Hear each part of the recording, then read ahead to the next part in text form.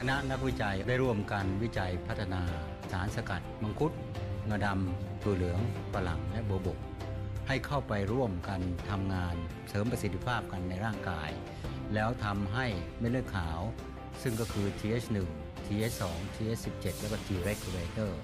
ร่วมกันทำงานอย่างบูรณาการ แล้วก็ทำให้มีภูมิคุ้มกันที่สมดุล เป็นมิติใหม่ของการดูแลสุขภาพ ณะนักวิจัยได้ร่วมกันวิจัยพัฒนาสารสกัด มังคุดงาดำตัวเหลืองฝรั่งและโบวบก ให้เข้าไปร่วมกันทำงานเสริมประสิทธิภาพกันในร่างกาย แล้วทำให้เม็ดเลือดขาว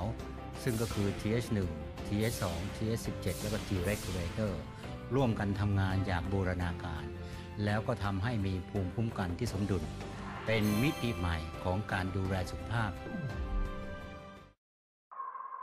คณะนักวิจัยได้ร่วมกันวิจัยพัฒนาสารสกัด มังคุดงาดำตัวเหลืองฝรั่งและโบวบก ให้เข้าไปร่วมกันทำงานเสริมประสิทธิภาพกันในร่างกาย แล้วทำให้เม็ดเลือดขาว ซึ่งก็คือ TH1 TH2 TH17 แล้วก็ T regulator ร่วมกันทำงานอย่างบูรณาการ แล้วก็ทำให้มีภูมิคุ้มกันที่สมดุล เป็นมิติใหม่ของการดูแลสุขภาพ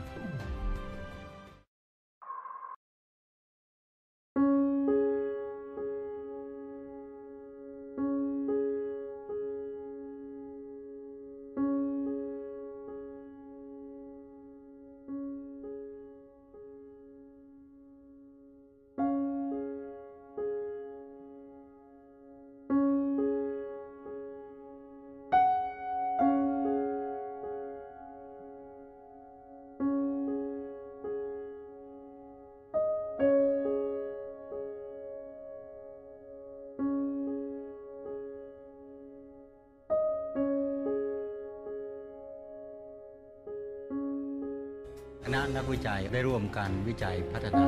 สารสกัดมังคุดงาดำตัวเหลืองฝรั่งและโบวบก